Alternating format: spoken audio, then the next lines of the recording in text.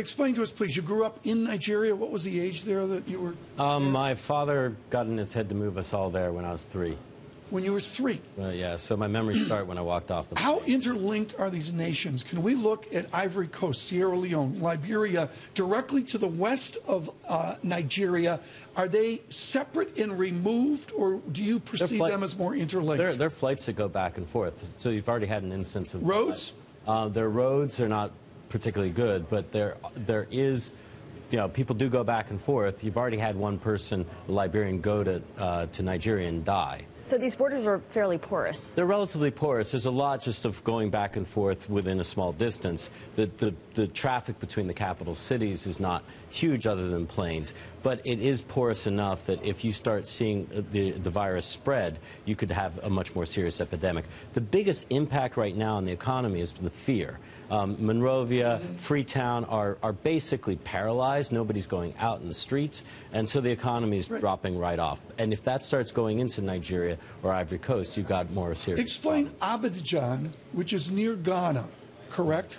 I've got there. I mean, I'm struggling with my, Right. my map here. I'm old enough to remember Upper Volta from what I no, but but within seriousness, Lagos Yep. to rural Nigeria, Abidjan to to the rural parts. What is that linkage? Do people from the rural It's- parts it's- are they as removed or are they not? It's country by country. I mean, they, they have different infrastructures. I mean, um, my friend McDowell Cooper is moving her kids out of the orphanage into different villages to get them away from the center.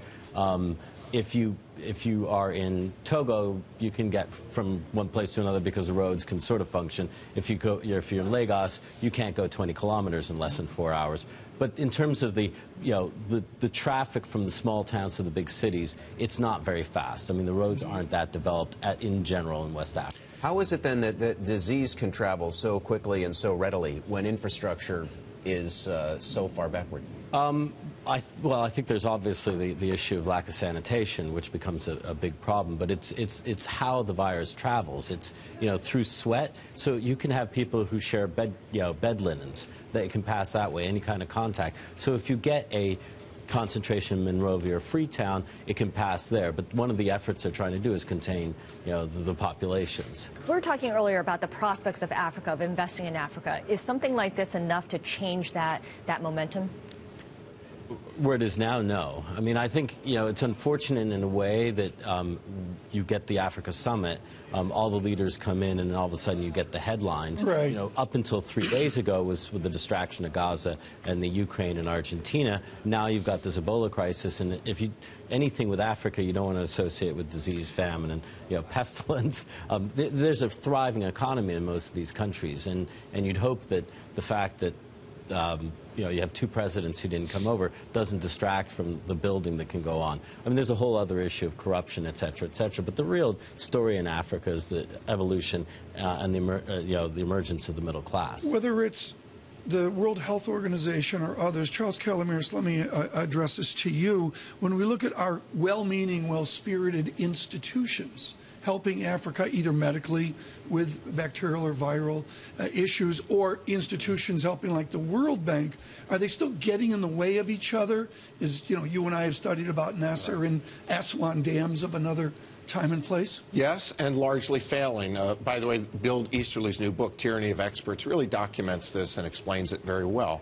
Uh, it's not necessarily an evil plan, it's just that top down sort of planning doesn't really work very well. And intergovernmental sort of deal making is often not very effective. Can you give the World Bank high grades for their shift? Is, is Mr. Dr. Kim rather Not shifts really, them? no. Oh, come on, be nice. It's Monday. I'm sorry. I think that uh, the World Bank's uh, leadership, their main accomplishments every four years is to restructure the World Bank staff. I, you know, I, I have to say, on the debt problems for Africa, the World Bank was absolutely instrumental in resolving it. And they, the, the, Okay. the staff I Oh, I, with that were was 10 very- years ago that you're talking about. Yeah, okay, but Well, and you also commented your best returns since founding your firm in 1997 have come from Africa. Could you not have done that with the help of the World Bank? You know, I think that the uh, it's complicated. They were instrumental in in structuring the way that things worked out.